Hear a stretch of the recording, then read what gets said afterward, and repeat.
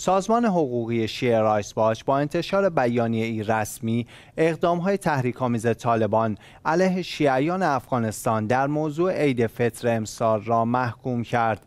در بخشی از این بیانیه که نسخه از آن به دست خبرگزاری اخبار شیعه رسیده آمده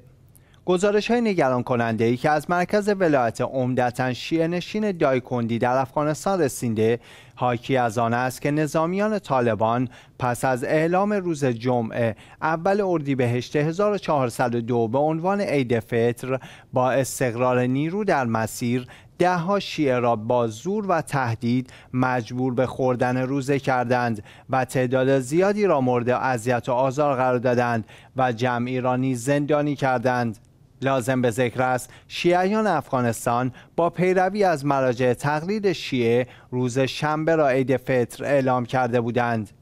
این بیانی افزود طالبان با پیش گرفتن سیاست های زورگویانه در برخورد با شیعیان افغانستان افزون بر زیر پا گذاشتن همه تعهدات بین المللی مندرج در توافقنامه دوحه چهره پلید خود را بار دیگر آشکار ساخته و خاطرات ترخ دادگاه های تفتیش عقاید قرون وسطایی را زنده کرده است. در ادامه بیانیه سازمان شیعه راسپاش آمده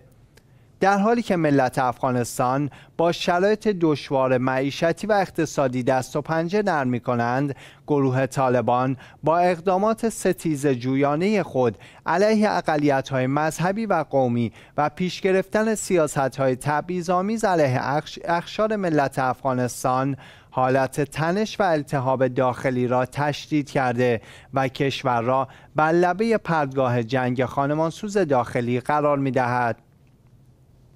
سازمان شیعه رایسواش ضمن تقبیه اقدام های اخیر طالبان علیه شیعیان هزاره افغانستان خواستار اقدامات موثر از سوی جامعه بینالمللی است تا از طریق اعمال فشار طالبان را به بازنگری سیاست های بیرویه خود و اجرای مفاد, مفاد توافقنامه دوحه وادارد. سازمان شیعه راسپاچ همچنان با هشدار از شتاب زدگی جامعه بینالمللی در به رسمیت شناختن حکومت طالبان بدون تشکیل دولت همه شمول در افغانستان این اقدام را خطرناک توصیف کرده و از پیامدهای منفی آن بر ثبات و امنیت جهانی برحذر می‌دارد.